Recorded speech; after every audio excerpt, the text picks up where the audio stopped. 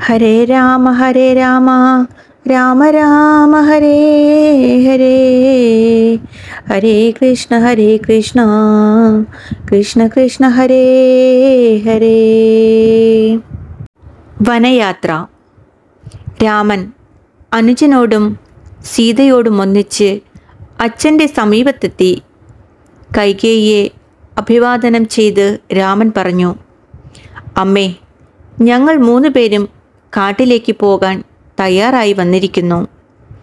അച്ഛനോട് വിവരമറിയിക്കൂ. ഇത് കേട്ട് സന്തോഷിച്ച കൈകേയി വേഗം എഴുന്നേറ്റ് മൂന്ന് മരവുരികൾ കൊണ്ടുവന്ന് ഓരോന്ന് രാമനും ലക്ഷ്മണനും സീതയ്ക്കും കൊടുത്തു.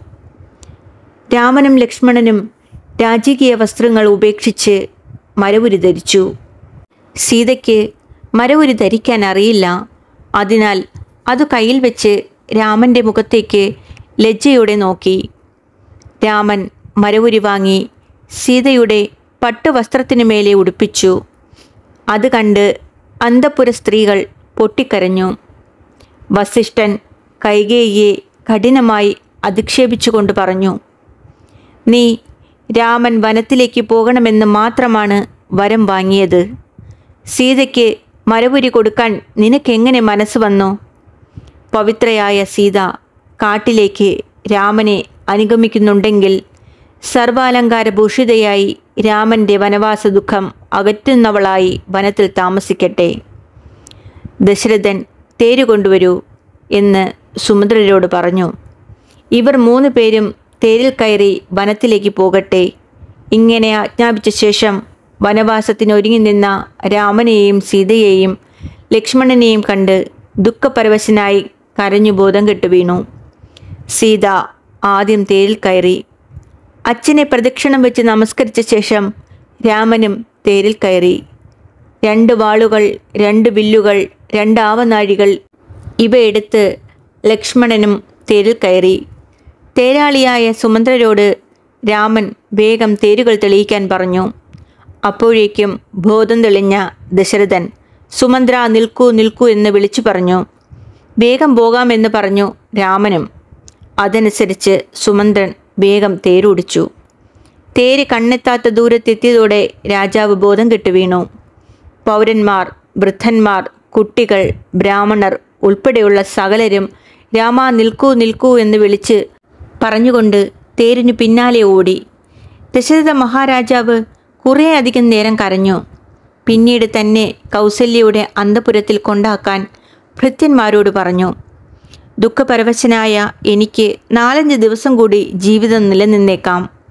രാമനില്ലാതെ എനിക്ക് ജീവിക്കാൻ കഴിയില്ല എന്ന് പറഞ്ഞു. പരിചാരകർ അദ്ദേഹത്തെ കൗസല്യയുടെ അന്തപുരത്തിൽ കൊണ്ടാക്കി. അവിടെ എത്തിയ ഉടനെ രാമനെ പറ്റിയുള്ള ചിന്ത കൊണ്ട് രാജാവ് മോഹാലാസ്യപ്പെട്ടു വീണു. അല്പസമയം കഴിഞ്ഞ് ബോധം തെളിഞ്ഞു. പിന്നീട് ഒന്നും മിണ്ടാതെ രാമൻ ലക്ഷ്മണനോടും സീതയോടും സുമന്ദ്രനോടും കൂടി സഞ്ചരിച്ച് തമസാ നദിയുടെ തീരത്തെത്തി. അന്ന് രാത്രി അവിടെ താമസിക്കാൻ നിശ്ചയിച്ചു. വെറും വെള്ളം മാത്രം കുടിച്ച് സീത സമേതനായി ഒരു വൃക്ഷത്തിന് ചുവട്ടിൽ കിടന്നുറങ്ങി. ലക്ഷ്മണൻ സുമന്ദ്രനോടും കൂടി വില്ലും ശരവും ധരിച്ച് ഉറങ്ങുന്ന അവർക്ക് കാവൽ നിന്നു. അപ്പോഴേക്കും അയോധ്യയിലെ പൗരന്മാർ അവിടേക്ക് എത്തിച്ചേർന്നു. കഴിയുമെങ്കിൽ രാമനെ അയോധ്യയിലേക്ക് മടക്കി കൊണ്ടുപോകണം. അതിന് കഴിഞ്ഞില്ലെങ്കിൽ നമുക്കെല്ലാവർക്കും രാമനോടുകൂടി കാട്ടിലേക്ക് പോകാം. ഇങ്ങനെയുള്ള അവരുടെ നിശ്ചയമറിഞ്ഞ രാമൻ ആശ്ചര്യപ്പെട്ടു. എനിക്ക് മടങ്ങിപ്പോകാൻ നിവൃത്തിയില്ല. ഈ ജനങ്ങൾ എന്റെ കൂടെ വന്നാൽ വളരെ ക്ലേശങ്ങൾ സഹിക്കേണ്ടി വരും. ഇങ്ങനെ നിശ്ചയിച്ച് അർദ്ധരാത്രി സമയത്ത് ഉണർന്ന രാമൻ സുമന്ത്രനോട് പറഞ്ഞു നമുക്ക് ഇപ്പോൾ തന്നെ പോകാം. വേഗം തേരൊരുക്കൂ. സുമന്ത്രൻ തേര് തയ്യാറാക്കി കൊണ്ടുവന്നു. രാമനും ലക്ഷ്മണനും സീതയും തേരിൽ കയറി അയോധ്യയിലേക്കുള്ള വഴിയിലൂടെ കുറച്ചു ദൂരം സഞ്ചരിച്ച ശേഷം തേർ തിരിച്ച് തെക്ക് ഭാഗത്തേക്ക് വളരെ വേഗം പോയി. അയോധ്യവാസികൾ രാവിലെ ഉണർന്നെഴുന്നേറ്റുമ്പോൾ രാമനെ കാണാതെ അത്യന്തം ദുഃഖിച്ചു. തേർചക്രം ഉരുണ്ടുപോയ വഴിയിലൂടെ സഞ്ചരിച്ചവർ അയോധ്യയിൽ എത്തിച്ചേർന്നു രാമനെയും സീതയെയും ലക്ഷ്മണനെയും ഹൃദയത്തിൽ ധ്യാനിച്ചുകൊണ്ടവർ അയോധ്യയിൽ താമസിച്ചു വന്നു. സുമന്തർ അതിവേഗത്തിൽ തേരോടിച്ച് സമൃദ്ധങ്ങളായ ഗ്രാമങ്ങളെ കടന്ന് വൈകുന്നേരമായപ്പോഴേക്കും ഗംഗയുടെ തീരത്ത് ശൃംഗവേരാപുരത്ത് എത്തിച്ചേർന്നു. രാമനും സീതയും ലക്ഷ്മണനും ഗംഗയെ നമസ്കരിച്ചു. അതിൽ സ്നാനം ചെയ്തു. രാമനും സീതയും ഒരു ഇരുവുൾ വൃക്ഷത്തിന്റെ ചുവട്ടിലിരുന്നു. അന്ന് രാത്രി അവിടെ കഴിച്ചുകൂട്ടാൻ നിശ്ചയിച്ചു. ശൃംഗവേരപുരത്തെ വേടരാജാവാണ് ഗുഹൻ. അദ്ദേഹത്തിന്റെ പ്രാണസ്നേഹിതനും സ്വാമിയുമായ രാമൻ വന്ന വിവരം അറിഞ്ഞ ഗുഹൻ സന്തോഷത്തോടെ കാഴ്ചദ്രവ്യങ്ങളുമായി രാമനെ കാണാൻ വന്നു. ഫലമൂലങ്ങൾ തേൻ പുഷ്പങ്ങൾ എന്നിവ ശ്രീരാമന്റെ കാൽക്കൽ സമർപ്പിച്ചു. ഭക്തിപൂർവം നമസ്കരിച്ചു. ശ്രീരാമൻ ഗുഹനെ പിടിച്ചെഴുന്നേൽപ്പിച്ചു. മാറോട് ചേർത്ത് ആലിംഗനം ചെയ്തു. ഗുഹനോട് രാമൻ ക്ഷേമാന്വേഷണം ചെയ്തു.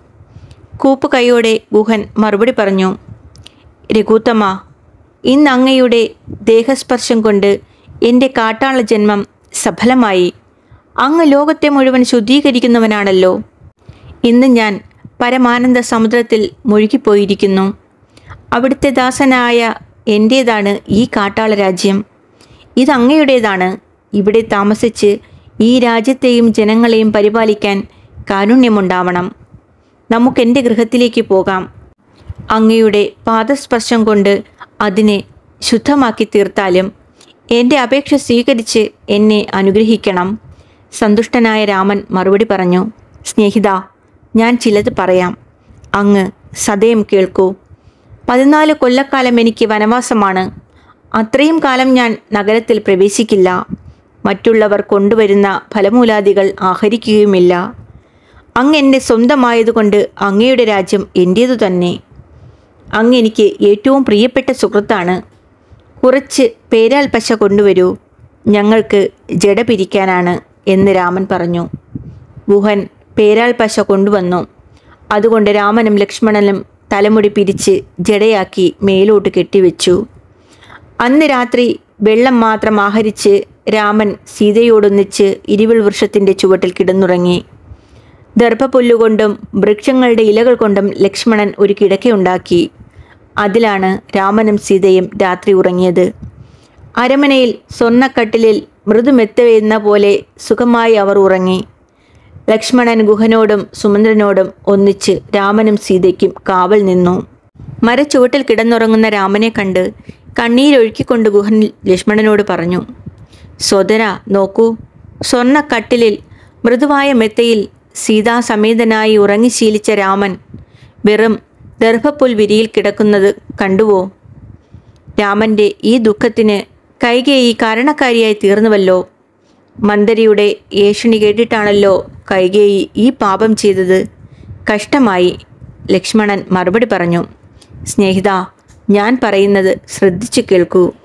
ഓരോരുത്തരുടെയും ദുഃഖത്തിനും സുഖത്തിനും ആരാണ് കാരണം? അവനവന്റെ പൂർവജന്മ പുണ്യവും പാവവുമാണ് സുഖദുഃഖങ്ങൾക്ക് കാരണം. സുഖവും ദുഃഖവും മറ്റാരും ഉണ്ടാക്കി തീർക്കുന്നതല്ല അന്യനാണ് സുഖദുഃഖങ്ങൾക്ക് കാരണമെന്ന് വെറുതെ വിചാരിക്കുകയാണ്. എല്ലാവരും അവനവന്റെ കർമ്മമാകുന്ന ചരടിനാൽ ബന്ധിക്കപ്പെട്ടിരിക്കുകയാണ്. മിത്രങ്ങൾ സുഹൃത്തുക്കൾ ശത്രുക്കൾ ഉദാസീനന്മാർ ദോഷിക്കുന്നവർ ബന്ധുക്കൾ ഇവരെല്ലാം അവനവന്റെ കർമ്മമനുസരിച്ച് നമ്മളോട് പല വിധത്തിൽ ബന്ധപ്പെട്ടവരായി തോന്നപ്പെടുകയാണ്. സുഖം വന്നാലും ദുഃഖം വന്നാലും അത് തന്റെ കർമ്മഫലമാണെന്ന് മനസ്സിലാക്കി ക്ഷോഭിക്കാനോ ദുഃഖിക്കാനോ ഇടവരാതെ മനസ്സിനെ ശാന്തമാക്കി തീർത്ത് ജീവിക്കുകയാണ് നല്ലത്. എനിക്ക് സുഖം വരണമെന്ന് ആഗ്രഹമില്ല. ദുഃഖം അകന്നു പോകണമെന്നുമില്ല. വരുന്നത് വരട്ടെ പോകുന്നവ പോകട്ടെ എന്ന ഭാവത്തെ വളർത്തുകയാണ് വേണ്ടത്. ഏത് ദേശത്ത് ഏത് കാലത്ത് ചെയ്തവയായാലും അവയുടെ ഫലമായ നന്മത്തിന്മകൾ നമ്മൾ അനുഭവിക്കുക തന്നെ വേണം. അതിനാൽ സുഖം വരുമ്പോൾ സന്തോഷിക്കേണ്ട ദുഃഖം വരുമ്പോൾ സങ്കടപ്പെടേണ്ട വിധിയാണ് അവയ്ക്ക് കാരണം. അവയെ മാറ്റിത്തീർക്കാൻ ദേവന്മാർക്കോ അസുരന്മാർക്കോ പോലും സാധ്യമല്ല. മനുഷ്യൻ സുഖവും ദുഃഖവും മാറി മാറി അനുഭവിക്കുന്നുണ്ട്.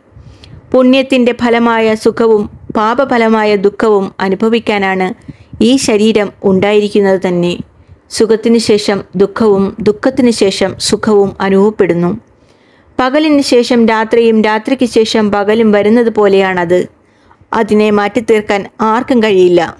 രണ്ട് സുഖങ്ങളുടെ നടുവിൽ ദുഃഖവും രണ്ട് ദുഃഖങ്ങളുടെ നടുവിൽ സുഖവും വരുന്നു. വെള്ളത്തിനു താഴെ മണ്ണും മണ്ണിനു താഴെ വെള്ളവും എന്ന പോലെയാണ് സുഖത്തെ ആശ്രയിച്ച് ദുഃഖവും ദുഃഖത്തെ ആശ്രയിച്ച് സുഖവും നിൽക്കുന്നത്. അതിനാൽ ബുദ്ധിമാന്മാർ സുഖവും ദുഃഖവും ഇഷ്ടവും അനിഷ്ടവും വരുമ്പോൾ സന്തോഷിക്കുകയോ സന്തപിക്കുകയോ പതിവില്ല. കാരണം പ്രപഞ്ചവും പ്രപഞ്ചാനുഭവങ്ങളും മായ കൊണ്ട് തോന്നപ്പെടുന്നവയാണ്. അവയ്ക്ക് സത്യത്വമില്ല എന്ന് അവർക്കറിയാം. ഗുഹനും ലക്ഷ്മണനും ഇങ്ങനെ സംസാരിച്ചു കൊണ്ട് നിൽക്കവേ നേരം പുലർന്നു. രാമനും ലക്ഷ്മണനും കുളിച്ച് സന്ധ്യാവന്ദനം കഴിച്ചു. തോണി കൊണ്ടുവരുവാൻ ഗുഹനോട് പറഞ്ഞു. ഗുഹൻ വേഗം നല്ലൊരു തോണി കൊണ്ടുവന്നു. അങ്ങ് സീതയോടും ലക്ഷ്മണനോടും കൂടി തോണിയിൽ കയറിയാലും ഞാൻ തന്നെ തുഴഞ്ഞ് അക്കരയിലെത്തിക്കാം എന്ന് ഗുഹൻ രാമനോട് പറഞ്ഞു. രാമൻ സീതയുടെ കൈപിടിച്ച് തോണിയിൽ കയറ്റി. ഗുഹന്റെ കൈപിടിച്ച് താനും കയറി. ആയുധങ്ങളെ കയറ്റി ലക്ഷ്മണനും തോണിയിലേറി. ഗുഹൻ ബന്ധുക്കളോടുകൂടി തോണി തുഴയാൻ തുടങ്ങി. നദിയുടെ മധ്യത്തിലെത്തിയപ്പോൾ സീത പ്രാർത്ഥിച്ചു ദേവി ഗംഗെ ഞാൻ ഭവതിയെ നമസ്കരിക്കുന്നു.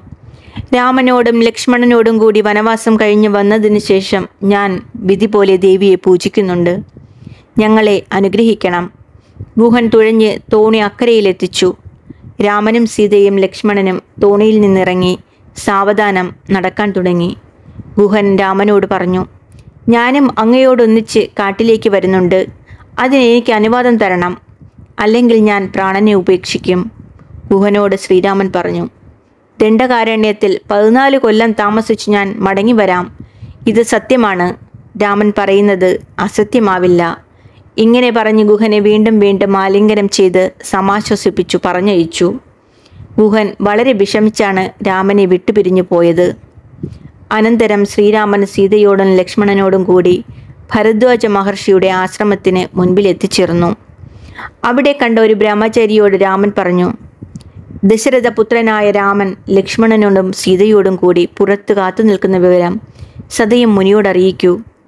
അത് കേട്ട് ബ്രഹ്മചാരി ഉടനെ മഹർഷി ചെന്ന് നമസ്കരിച്ച് വിവരം പറഞ്ഞു. ഭരദ്വാജ മഹർഷി വേഗം എഴുന്നേറ്റ് അർഘ്യവും പാദ്യവും എടുത്ത് രാമന്റെ സമീപത്തെത്തി. മുനിരാമനെയും ലക്ഷ്മണനെയും പൂജിച്ചു. രാമ വരൂ പാദരേണുക്കളെ കൊണ്ട് എന്റെ ആശ്രമം പവിത്രീകരിക്കൂ എന്ന് പറഞ്ഞ് സീതയോടുകൂടി രാമലക്ഷ്മണന്മാരെ ആശ്രമത്തിലേക്ക് കൂട്ടിക്കൊണ്ടുപോയി. അതിഥി സൽക്കാരം ചെയ്തു. അങ്ങയെ കാണാൻ കഴിഞ്ഞതിലാൻ എനിക്കിന്ന് അജ്ഞാനത്തിന്റെ അപ്പുറത്തേക്ക് കടക്കാൻ കഴിഞ്ഞു. അങ്ങയുടെ സകല വിവരങ്ങളും എനിക്ക് മനസ്സിലായി. പരമാത്മാവാണ് അങ്ങ് മായ കൊണ്ട് മനുഷ്യനായി അവതരിച്ചവനാണ്. ബ്രഹ്മദേവൻ അപേക്ഷിച്ചതനുസരിച്ച് ഇപ്പോൾ ജനിച്ചിരിക്കുന്നത് എന്തിനാണെന്നും വനവാസത്തിന് വന്നിരിക്കുന്നത് എന്തിനാണെന്നും ഇനി എന്തെല്ലാമാണ് ഭാവിയിൽ ചെയ്യാൻ പോകുന്നതെന്നും എനിക്ക് ജ്ഞാനദൃഷ്ടി കൊണ്ട് അറിയാൻ കഴിഞ്ഞു.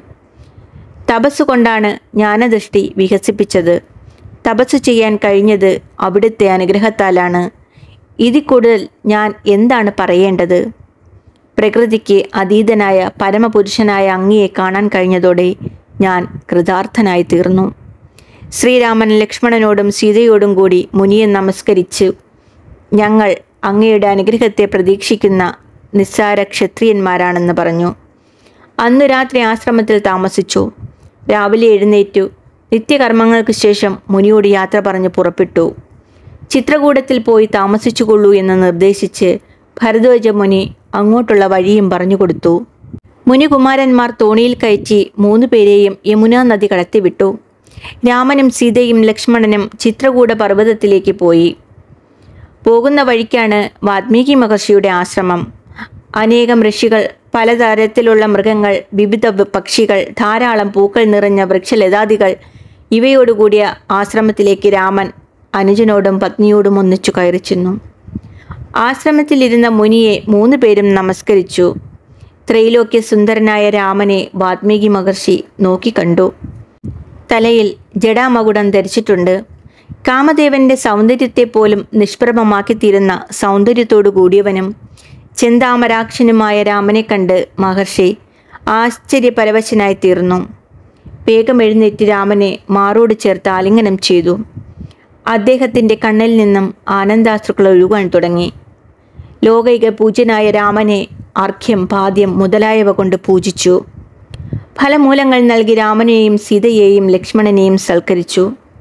ശ്രീരാമൻ തൊഴുതുകൊണ്ട് മുനിയോട് ഉണർത്തിച്ചു. അച്ഛന്റെ കൽപ്പനയനുസരിച്ച് ഞങ്ങൾ വനവാസത്തിന് വന്നവരാണ്. കാരണം എന്തെല്ലാം അങ്ങയ്ക്കറിയാമല്ലോ. എനിക്ക് സുഖമായി താമസിക്കാൻ പറ്റിയ സ്ഥലം പറഞ്ഞു തന്നാൽ കൊള്ളാം. സീതയോടൊന്നിച്ച് അങ്ങ് നിർദ്ദേശിക്കുന്ന സ്ഥലത്ത് കുറച്ചു കാലം താമസിക്കാൻ ആഗ്രഹിക്കുന്നു. വാത്മീകി മഹർഷി മറുപടി പറഞ്ഞു അങ്ങ് തന്നെയാണ് സകല ജീവന്മാരുടെയും വാസസ്ഥാനം. എല്ലാ ജീവജാലങ്ങളിലും വസിക്കുന്നവനും അങ്ങു തന്നെ. ഇങ്ങനെ സാധാരണ വാസസ്ഥാനം പറഞ്ഞു തന്നു കഴിഞ്ഞു. സീതയോട് കൂടി താമസിക്കാൻ പറ്റിയ സ്ഥലം ചോദിച്ചുവല്ലോ അത് പറയാം. ശാന്തന്മാരും എല്ലാം സമമായി പരമാത്മ സ്വരൂപേണെ കാണുന്നവരും ആരെയും ദോഷിക്കാത്തവരും അങ്ങയെ എപ്പോഴും ഭജിച്ചുകൊണ്ടിരിക്കുന്നവരുമായ ഭക്തന്മാരുടെ ഹൃദയമാണ് അങ്ങയ്ക്ക് സുഖമായി താമസിക്കാനുള്ള സ്ഥലം. ധർമ്മധർമ്മങ്ങളെപ്പോലും ഉപേക്ഷിച്ച് അങ്ങയെ നിരന്തരം ഭജിക്കുന്നവരുടെ ഹൃദയമാണ് സീതാസമേതനായ അങ്ങയ്ക്ക് സുഖവാസത്തിനുള്ള മന്ദിരം. എപ്പോഴും രാമമന്ത്രം ജപിക്കുന്നവരും അങ്ങയെ സർവാത്മനാ ശരണം പ്രാപിച്ചവരും ശീതം ഉഷ്ണം വിശപ്പ് ദാഹം സുഖം ദുഃഖം മുതലായവയെ ചിന്തയോ ആവലാതിയോ കൂടാതെ സഹിക്കുന്നവരും പ്രപഞ്ച വസ്തുക്കളിൽ യാതൊന്നിലും ആഗ്രഹമില്ലാത്തവരുമായ സജ്ജനങ്ങളുടെ ഹൃദയം അങ്ങേക്ക് സുഖമായി താമസിക്കാൻ പറ്റിയ സ്ഥലമാണ്. അഹങ്കാരം തീരെയില്ലാത്തവരും ശാന്തന്മാരും രാഗദോഷങ്ങളെ നിശേഷം അകറ്റിയവരും മൺകട്ടയെയും കല്ലിനെയും സ്വർണത്തെയും ഒരുപോലെ നിസ്സാരമായി കാണുന്നവരും വിരക്തന്മാരുമായവരുടെ ഹൃദയം അങ്ങേക്ക് താമസിക്കാൻ പറ്റിയ സ്ഥലമാണ്. മനസ്സും ബുദ്ധിയും അങ്ങയിൽ സമർപ്പിച്ചവരും എപ്പോഴും സന്തോഷമായി കഴിയുന്നവരും സകല കർമ്മങ്ങളും ഉപേക്ഷിച്ചവരുമായ സന്യാസിമാരുടെ ഹൃദയം അങ്ങേക്ക് സുഖതാമസത്തിന് പറ്റിയതാണ്. അനിഷ്ടം വന്നാൽ ദുഃഖിക്കുകയോ സുഖം വരുമ്പോൾ സന്തോഷിക്കുകയും ചെയ്യാതെ ഇതെല്ലാം മായയാണെന്ന് ബോധിച്ച് എപ്പോഴും അങ്ങയെ ഭജിക്കുന്നവരുടെ ഹൃദയവും അങ്ങേക്ക് സുഖവാസ സ്ഥാനമായി ഭവിക്കും. ഉണ്ടാവുക നിലനിൽക്കുക വളരുക മാറുക ക്ഷയിക്കുക നശിക്കുക. ഈ ആറുവിധ വികാരങ്ങൾ ശരീരത്തിന്റെതാണ് ഭയവും ദുഃഖവും ബുദ്ധിയുടേതാണ്. ഇവയൊന്നും ആത്മാവല്ല തന്റെയല്ല എന്ന് ബോധിക്കുന്നവരും സംസാരധർമ്മങ്ങളിൽ നിന്നും നിവർത്തിച്ചവരുമായ ജ്ഞാനികളുടെ ഹൃദയം അങ്ങേക്ക് ഇഷ്ടപ്പെട്ട വാസസ്ഥാനമായിരിക്കും. എല്ലാവരുടെയും ഹൃദയത്തിൽ വിളങ്ങുന്നവരും ജ്ഞാനഘന സ്വരൂപനും സത്യസ്വരൂപനും അവസാനമില്ലാത്തവനും ഏകനും ഏ- യാതൊരു മാലിന്യവും ബാധിക്കാത്തവനും സർവത്ര വ്യാപിച്ചവനും സർവോത്കൃഷ്ടനുമായ അങ്ങയുടെ എപ്പോഴും ബോധിച്ചുകൊണ്ടിരിക്കുന്നവരുടെ ഹൃദയത്തിൽ സീതയോടുകൂടി സുഖമായി താമസിക്കാം. നിരന്തരമായ അനുഷ്ഠാനം കൊണ്ട് ആത്മബോധത്തെ ദൃഢമായി ഉറപ്പിച്ചവരും അങ്ങയുടെ പാതാരബിന്ദങ്ങളെ സദാ സേവിച്ചു കഴിയുന്നവരും അവരുടെ തിരുനാമ കീർത്തനത്താൽ സകലവിധ പാപങ്ങളെയും നശിപ്പിച്ചവരുമായ സജ്ജനങ്ങളുടെ ഹൃദയത്തിൽ സീതാസമേതനായി താമസിച്ചാലും. ഹരേ രാമ ഹരേ രാമ രാമ രാമ ഹരേ ഹരേ ഹരേ കൃഷ്ണ ഹരേ കൃഷ്ണ കൃഷ്ണ കൃഷ്ണ ഹരേ ഹരേ